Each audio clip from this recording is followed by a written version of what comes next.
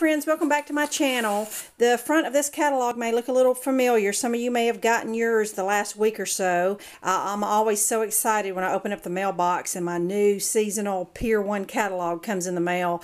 I wish I had one of everything in that store. And I usually treat myself to at least one thing every season, but I tell you what, I'm just a sucker for spring and Easter type decor and just love it. But anyway, I went ahead and cut out the picture I wanted to try and dupe, and this is the front of the catalog, and I think it was on actually the first page. But my eye caught this striped container arrangement. I just love the look of that. I thought it was so pretty, and I just love you know the contrast like that. But I tell you what blew me away was the price of this. $49.95. I could not believe one of these are $50. And I don't know exactly how big it is, but you know, it, it seriously looks like a, a coffee can size with, you know, five or six blooms in it. So I thought, you know, how easy would that be to recreate for a fraction of the cost? So here's what I did. I went in my pantry and looked at some things I had. Now you could use like a big oatmeal container. You know, I, I saved my big coffee cans like this from Costco. Even your bleach bottle, you could cut this off and it would be a smooth surface.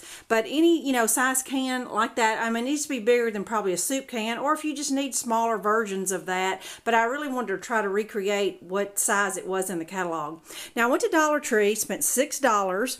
And here's what I did is I just looked at the picture and I thought, well, I need a pink striped flower. So I looked through and found a pink striped one. I needed a solid color. These look to be just big blooms. So I'm going to keep them in the bunch that they are. Normally I cut these blooms separate, but I'm going to keep them in the bunch that they are. And then I needed um, a purple and white one, found one like that, and then an orangey one kind of on the side. I found one that was kind of yellowy and orange, and then a blue one kind of in the back, and found these. You know, these are new to the Dollar Tree, so their stock is pretty well right now, especially with them getting rid of Valentine, and they're just now starting to bring out their spring stuff. Now, for the stripes, uh, what I'm going to do is I'm going to just spray paint my can. I'm going to use the coffee can. I'm going to spray paint my can white, and then I picked up some black duct tape at the Dollar Tree. So I have $6 invested in this, and so we're going to see how this turns out. When I come back to you, I'll have my can spray painted white. All right, I got my can spray painted. Now I had just barely enough spray paint left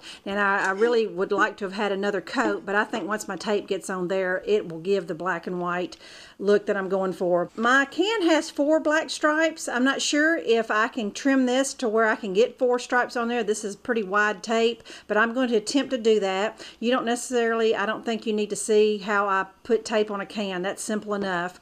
Now I'm going to uh, break this styrofoam up and stick it in the can so that it will give my stem something to stick into. And so this is a simple enough project where I'm going to go ahead and finish it and show you my finished arrangement. All right, friends, my kitchen table is ready for spring. Here is the $50 faux floral striped potted arrangement from Pier 1.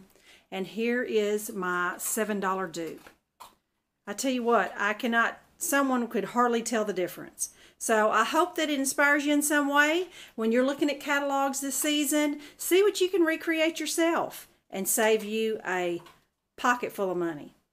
Hope you enjoyed it. I'm certainly going to enjoy my table this spring. Thanks for watching. Bye-bye.